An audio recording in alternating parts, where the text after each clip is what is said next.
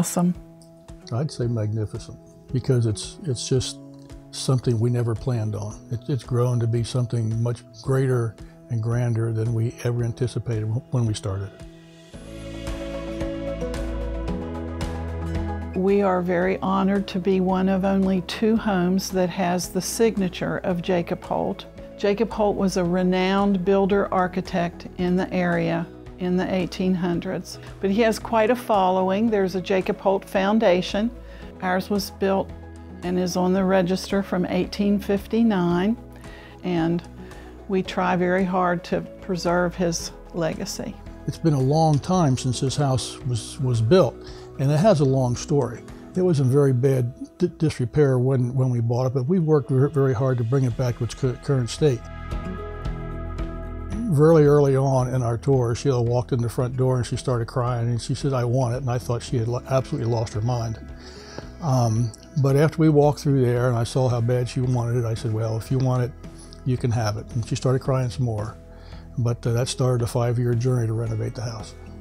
I was a little perturbed when the government called it unearned income because we worked really hard. We gutted the house entirely, took all the plaster out, took care of any structural repairs that had to be done, uh, put a new roof on the house, and then worked on going through the house uh, room by room to bring it up to its current uh, state.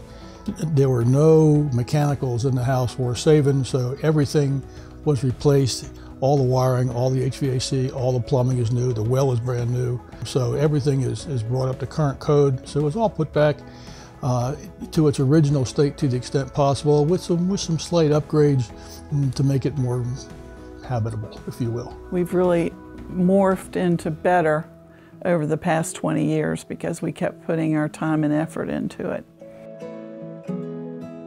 When we opened the bed and breakfast, we didn't have a swarm of people coming right then, but the first two young ladies that knocked on the door asked if they could get married here. And I thought about it. I thought, well, sure, we can do that. So our first wedding was a local wedding. And this is a little emotional, but it was amazing to stand on that back deck and see people the way the house should be kids running and people enjoying the pecan orchard and the yard and so forth. And it just kept morphing. We just kept doing whatever our brides requested and turned into a pretty successful wedding venue. Fast forwarding to today, if you look backwards on the last 10 years, uh, because the wedding business has become so significant, we've actually grossed $2.9 million in sales in the last 10 years. Uh, and we never had any idea that it would get to the point that it is today. We started out thinking we were bed and breakfast. We just kept listening to our clients, and every time the client said we'd like to have this, that, or the other thing, we went and built it. So it was not built to attract our business. It was built in response to our business, which makes us a very unique facility. We have some beautiful grounds, approximately 13 acres. We have 21 um, mature pecan trees, and that's been the most popular place for the weddings because it's shady. Um, I have over 70 hydrangeas planted. Um, we've worked really hard on the perennial gardens, and we have a raised bed vegetable garden for which we do farm to table as much as we can. And while we've been sitting here, I've been watching five hummingbirds bouncing all over the chestnut tree out there. It's just amazing. Oh, um, just the hummingbirds? Sure. But the hummingbirds, the raspberries, the blackberries, the blueberries, the black walnuts, the chestnut tree, and in the pecan grove, I mean, there's just so much here in the garden space. The lifestyle is just, is just something you read in a fairy tale book. It's truly awesome to see not only our grandkids, but their friends and other kids come and just run the 13 acres because not a lot of kids have a chance to do that kind of thing.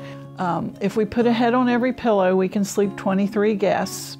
Every year we host a family, we call it Fall Harvest, and the kids bring anybody they want to party. We've had up to 150 and we've become it's become kind of a tradition with our children and our family and it's just been really neat to have them here.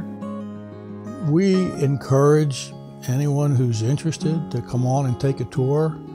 Um, you will find that no matter what you find on the internet relative to pictures, websites, reviews, even this video. There's just absolutely nothing we can do to capture all that's here. We hear it from every bride we had come in here, every client we've had come in here.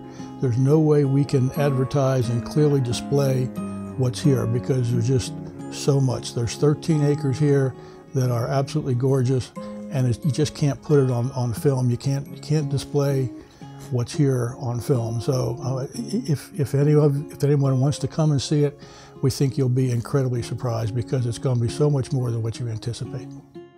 We're searching for a new keeper of the keys because we feel like we're ready to move forward and spend more time with our grandkids. And I'm certain whoever takes on that responsibility will be, if they're half as in love as I am, they'll be lucky.